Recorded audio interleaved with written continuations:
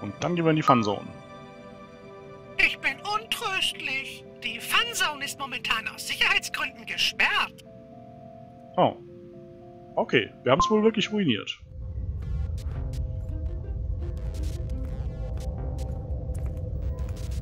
Gut, wie sind diese Disketten hier organisiert? Datasette Der 01. Gencode eines amphibischen Kriechtiers mit hornigen Patschehändchen, gelben Schuppen und einem garstigen Gemüt. Okay, wir brauchen die Riesenmale. Ohne mich hier als Gott aufspielen zu wollen. Aber brauchen wir wirklich Maden in unserem neuen Genpool? Ach komm, so eine kleine Riesenmade ist doch...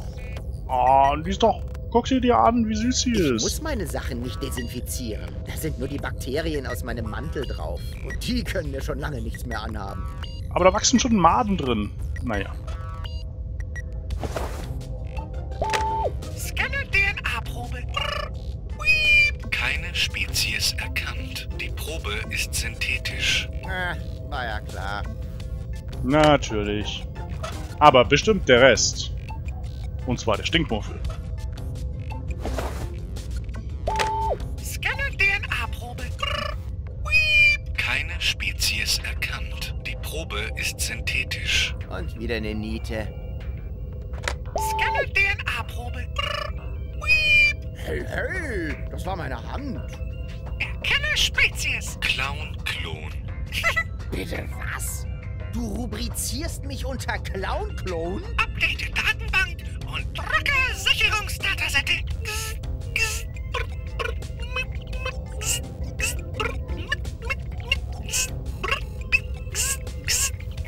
Das ist ja unerhört. Fies. Hey, her damit. Und jetzt Hobel.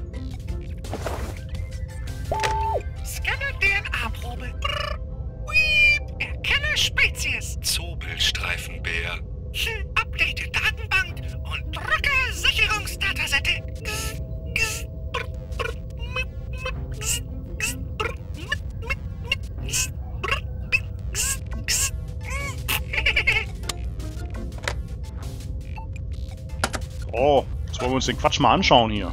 Ah, Moment, Fischli. Scanne DNA-Probe. Erkenne Spezies. Cooler Zombie-Dinosaurier. Ach was. Du willst Du hast damit angefangen. Du, du willst doch den Fisch da. Da ist ein Fisch drin. Erstell doch mal den Fisch. Ach, Mist. Das hätte 02. Clownfisch.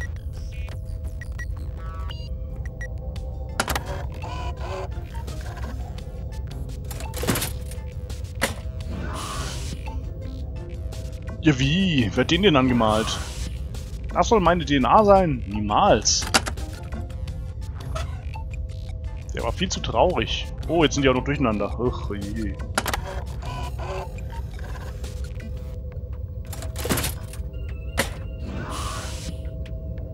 Oh, den lassen wir besser hier nicht raus.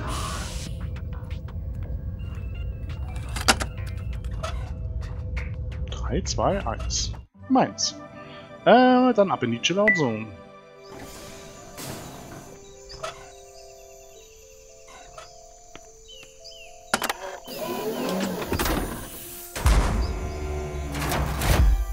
Oh, was soll das denn sein? Ein Streicheltier natürlich. Bist du irre? Das ist ja viel zu groß. So kann das doch niemand streicheln. Nimm es weg. Achso, man kann doch auch große Tiere streichen. Erzähl mir doch nix. Okay, wir wollen uns einen Wolpertinger generieren. Und zwar aus Datasette 3 und äh, Datasette 1. So, jetzt können wir doch die, die Dinger hier... Ach so, wir können das jetzt äh, austauschen, nehme ich an, ne? Ja, wunderbar. Oh, okay. Statur. Wir wollen auf jeden Fall die Statur des, äh, der Echse, die ist nämlich schön klein und knuffelig. Wir wollen die Behaarung des ähm, Dingstar Bären. Ich nehme an das Gemüt. Oh ja, wir wollen böses Gemüt. Das ist schön. Extremität. Nein, nein, schön sanft. Und die Farbe war auch gut. Also, äh, ab dafür.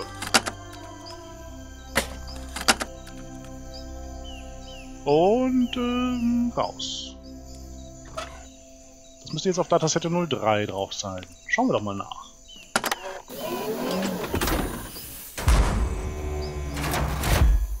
Oh, was soll das denn sein? Ein Streicheltier natürlich.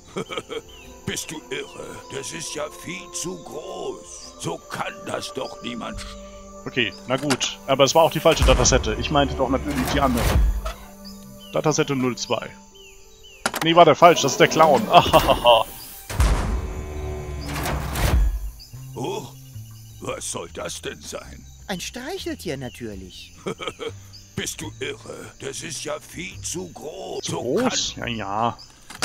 Moment, Moment. Ah, die da ist es. Da, süßes, süßes Streicheltier. Was soll das denn sein? Ein Streicheltier natürlich. Bist du irre? Hm. Es ist schön flauschig und Zobelstreifen hat es auch. Aber es ist viel zu aggressiv. Wie soll man es denn so streicheln? Nimm es bitte weg, bevor es noch jemanden beißt. Na gut. Aber es soll nicht das letzte Mal gewesen sein, dass ich mit einer Datasette im Fach hier vorbeikomme. Ich nehme an, ich muss das auch noch mit dem Clown machen, aber momentan möchte ich mal die simpelsten Lösungen angehen, und zwar sein Gemüt wieder vertauschen. Jetzt ist doch eigentlich alles super, oder? Es hat die passende Farbe, die passende Statur, die passende Behaarung, Gemüt und Extremität. Ist mir jetzt nicht ganz klar, wofür es Clown haben sollte, aber soll es ja nicht.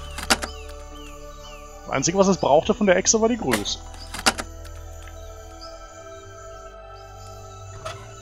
Ist das jetzt 1 oder 3? Ich probiere es mit 1.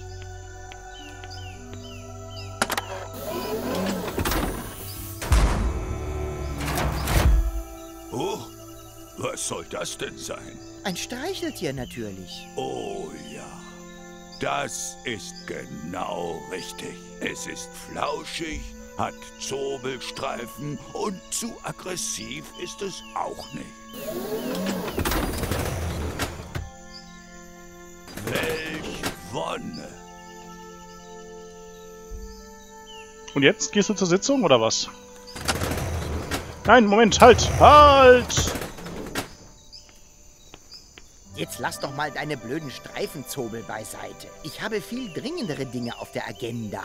Streifenzobel sind nicht blöd. Sie sind Vielleicht sogar intelligent. gut auf. Das kennen wir alles schon. Ähm, wir legen jetzt wieder das nochmal ein. Und dann reden wir mit ihm.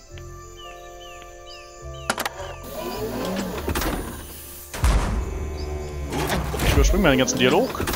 Dann wird das Ding zu ihm rausgefahren und jetzt ist er doch... Jetzt, jetzt müsste doch, kann er den doch mitnehmen. Danke, unbekannter elysianischer Bürger mit frappierender Ähnlichkeit zu unserem Klonbediensteten und Inspektor Cletus. Du hast einen alten Mann sehr glücklich gemacht. Heißt das, du kommst endlich mit zum Ältestenrat? Natürlich, Junge.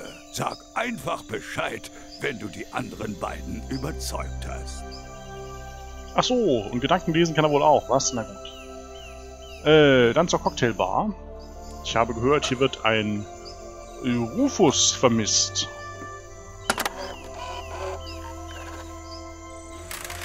Bravo! Großartig! Da Capo! Da Capo! Ich wusste, dass ich das Zeug zum Erfolgsproduzenten habe. Und dabei habe ich noch nicht mal damit angefangen, Urlaube zu streichen. Und was ändert sich jetzt? Also, ich find's lustig. Was hat sich denn jetzt hier... Habe ich denn jetzt irgendwas... Also... Ich verlange nun endlich vorgelassen zu werden. Nicht solange hier kein akzeptables Essen serviert wird. Außerdem schwimmen nach wie vor Fische in den 4CL-Drinks. Also wir brauchen einen 4CL-Drink, in dem kein Fisch schwimmt. Aber das hatten wir doch schon. Moment. Äh, ja gut, ich mach's einfach nochmal. Oh Gott, Agathe. Ich kann den Drink nicht in den Mixer schütten, solange mich dieser alkoholabhängige Fisch mit seinen niedlichen Junkie-Augen anglupscht. Halte durch, kleiner Tackleberry Finn. Ich mixe dir ein neues Heim. Und es wäre doch gelacht, wenn dabei nicht auch noch ein Drink für den alten Knacker da vorne rausspringt. Ja, ich tu den einfach hm? da rein. Also kann ich nicht. Das da rein und tu den da rein. Und dann tun wir das da rein und da rein und dann ist alles gut. Was ist jetzt das Problem?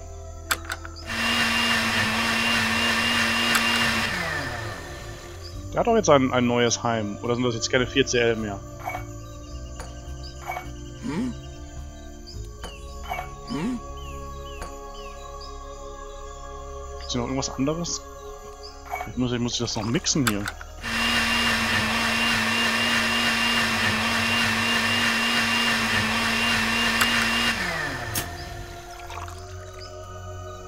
Und jetzt? Ich fertig? Nein, stopp! Tackleberry Finn darf nicht in den Mixer. Sieh dir, das ist mir unklar. Ich weiß nämlich nicht, was mein Ziel hier ist. Wie soll ich denn ein Rätsel lösen, wenn ich nicht weiß, was ich tun will?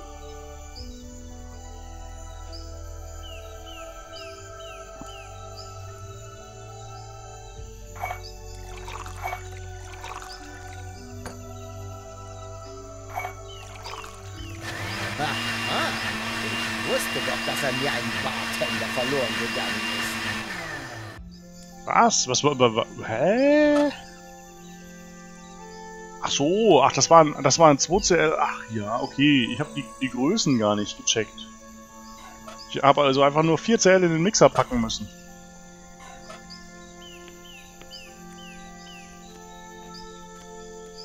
Das war wohl ein, ein, ein 2CL Shotglas vorher. Äh, das ist ja gar kein Shotglas. Doch. Nein, egal. Tatsache. Ich wusste, es würde sich auszahlen, dass ich mich persönlich um dieses Problem kümmere. Und? Ich verlange nun endlich vorgelassen zu werden. Nicht solange hier kein akzeptables Essen serviert wird. Ja, aber, aber, aber... Essen, Essen, wie soll ich denn jetzt... Hm... Hm, Riesenmade. Da kommt mir eine Idee. Nein, doch nicht. Warte mal, das würde niemals funktionieren. Egal. Äh, ich weiß es nicht. Ehrlich gesagt, ich weiß auch nicht, wie wir den Kerl da jetzt massieren sollen. Und ich weiß nicht, wie wir in die Sauna kommen. Das heißt, wir müssen uns... Wo, wo, wo wird denn das Essen hergestellt? Hm. Wir brauchen wieder was Gratziges für den. Äh, ja, nicht kratzen, ist schon gut. Und wir brauchen, ähm... Wir brauchen was Essbares und das hätte ich jetzt gesagt, müssen wir beim Wolpertinger Generator herstellen. Aber die Datasette ist ja schon mal ganz klar. Die muss so bleiben. Ähm... klaue mir jetzt gerade nochmal das hier. Moment. Wie jetzt? Ist die Show einfach schon vorbei? Was für ein miserables Ende. Buh! Und frage ihn mal, ob er auch Unterhaltung möchte. Quasi ist das Teil der, Teil der Sache, dass ich hier... Ich verlange nun endlich vorgelassen zu werden. Nicht solange hier kein akzeptables Essen setzt. Nee, dem geht's wirklich nur ums Essen. Wo bin ich mir noch nicht ganz sicher, wofür dieser Unterhalter hier äh, nötig ist, der Clown. Und solange ich das nicht weiß, nehme ich den einfach wieder mit und schau mal, ob ich mir im Wolvertinger Generator, Generator da nicht irgendwas zusammenmixen kann.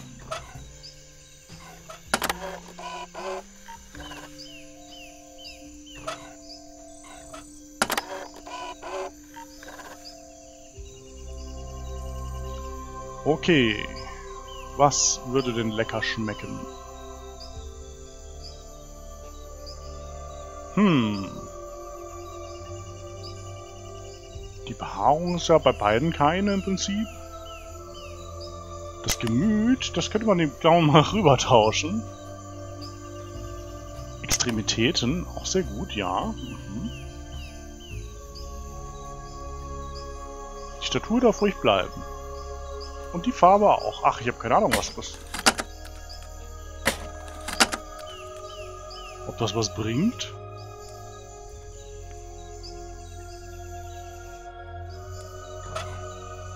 Schauen wir mal.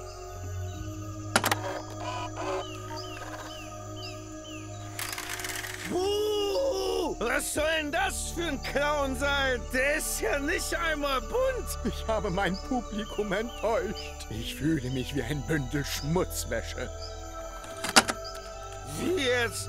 Ist die Show einfach schon vorbei? Was für ein miserables Ende. Buh! Äh, ich meine natürlich diese.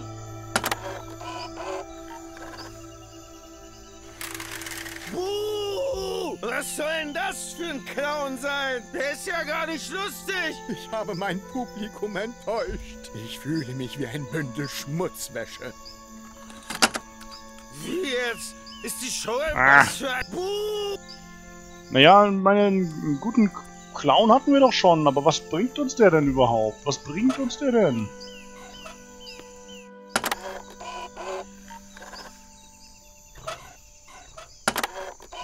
Noch eine Clown-Variante probieren und zwar tausche ich jetzt nochmal das Gemüt aus und lasse dem nur die Extremitäten. Das könnte doch was bringen.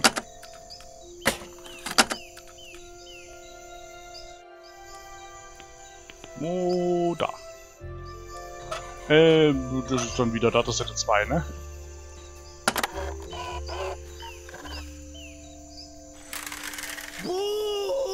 Was soll denn das für ein Clown sein? Der hat ja gar keine lustigen Accessoires. Ich habe mein Publikum enttäuscht. Ich fühle mich wie ein Bündel Schmutzwäsche. Wie jetzt? Was für... Ähm. äh,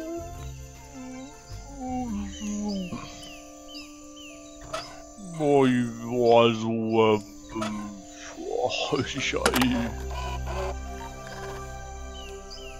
Na gut, dann äh, kriegt er seinen Clown wieder, aber wie geht's dann weiter? Ich brauche Ideen, ich habe keine.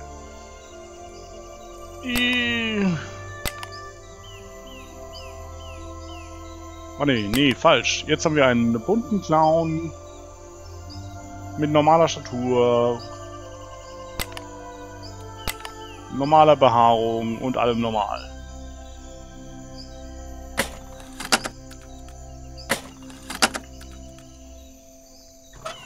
Der Gencode eines Humanoiden mit roter Nase, bunter Haut und einem lustigen Gemüt. Genau. Das kam doch gut an.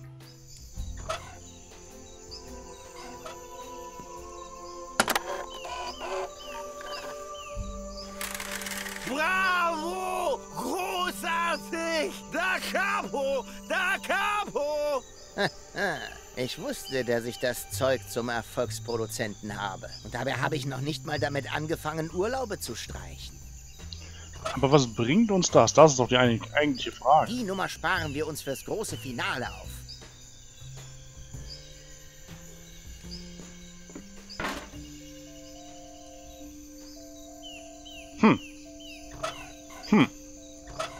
Hey, kann ich die Datasette verwursten?